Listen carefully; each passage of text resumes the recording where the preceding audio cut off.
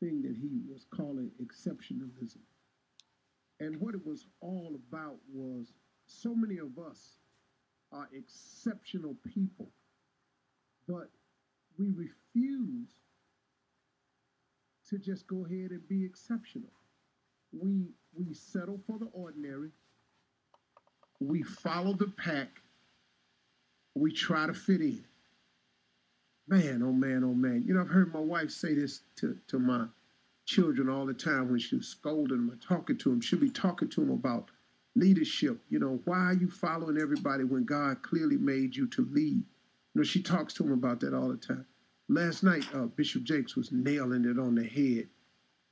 So many of us are born, and so many of you are born to be exceptional people, but we always trying to follow the pack, always trying to be a follower, always trying to fit in, when clearly you were born to be exceptional.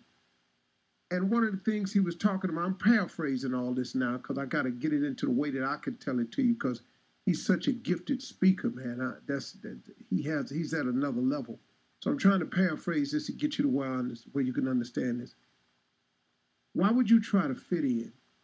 Why would you try to be uh, like everybody else? Be ordinary. Why would you follow the pack when God has created you to be exceptional? you know, the, the the key word in exceptional is accept. You ever you ever done this right here? You, you know, everybody did that except me. Everybody felt that way except me. Everybody said that except me. Everybody want, wanted that except me. Everybody went over there except me. Everybody jumped in except me except me. See, why have you said that in your life if you were not to be exceptional? See, you got to say everybody except me. At one point in your time, I don't know who ain't done it. You know, everybody wanted, everybody voted no except me. See, so you, you you're not you're not created to follow the pack. You ain't created to fit in. You ain't created to uh you know, to be ordinary. You were created to be exceptional. As exceptional as your fingerprint on your finger is, you were created to be exceptional. Why not make this the year that you go head on and be exceptional? Why won't this be the year that you decide in your mind? But just has to be a decision that we make now. we not following the pack no more. we not trying to fit in no more. We ain't settling for ordinary no more. We're gonna be exceptional. But you know, you got you got to go ahead and follow that. You got to get on the exceptional path because that's what you were created for. Why be ordinary? You know, but all of this, everything you do, all these New Year's resolutions that people come up with, all of this, this comes, it has to start with a thought. You got to first think something.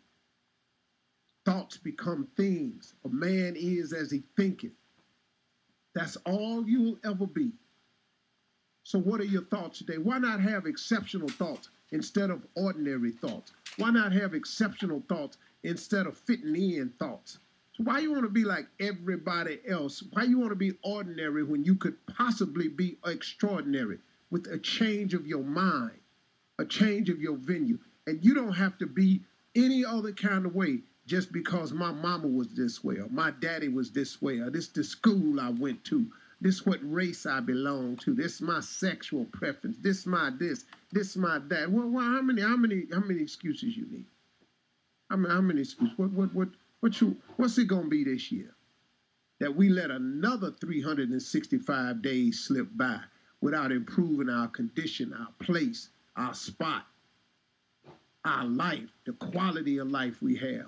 We cannot afford to keep letting all these years go by without changing.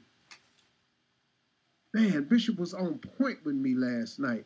You're an exceptional person. How many times have you set up and said, everybody did that except me? You know, I was on, everybody jumped in except me. I told him, I knew it. Everybody voted for that except me. And now look at him. Man, it seemed like everybody went that way except me. Okay? Do you get it? Do, do, do you understand what's being said to you? That old except me is because couldn't it be because you're an exceptional person? And it's time for you to take control of that. It's time for you to start thinking different. It's time for you to start acting on what you think. It's time for you to start doing something about it. It's time for you to stop taking each and every day that God gives us for granted and letting them go by the wayside like you got plenty more. Well, you may have plenty more, but guess what? What you wasting the ones you got for?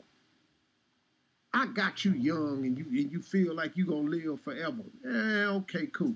But let me ask you something. See, here, here, here, here go the part about suppose you do live. See, see, everybody worried about dying, but I got news for you. Suppose you keep on living. You want to keep living in the condition you in now? You want to keep living with the money you got now? You want to keep living with the relationship you got now? You want to keep living by yourself like you are now? You want to keep wanting the right relationship, the right man, the right woman, but you keep getting the wrong one. You want to keep doing that for the rest of your life? Problem ain't dying. The problem is if you keep on living. Who wants to keep on living just the way they are right now? And if you can say, I'm cool with I am just the way I am right now, then cool. This conversation ain't for you. I ain't got no problem with that. You know, you know what I'm saying? Greatness ain't for everybody. Being exceptional ain't for everybody. Becoming extraordinary ain't for everybody. Heck, becoming successful ain't for everybody. I got it. And you can come up with a way to justify your non existence and your ordinary life all you want. And that's fine and dandy. I ain't got no problem with it because some people just gonna be regular. Some people just gonna follow the pack, follow the crowd. Some people just wants to fit in. But if you're not that person, if you want to be extraordinary, if you want to be exceptional, if you want to be, if you want to dare to be great at something, then you got to change your mindset. You got to get with your creator and find out what he created you for. You got to quit thinking of things just in your own thought process.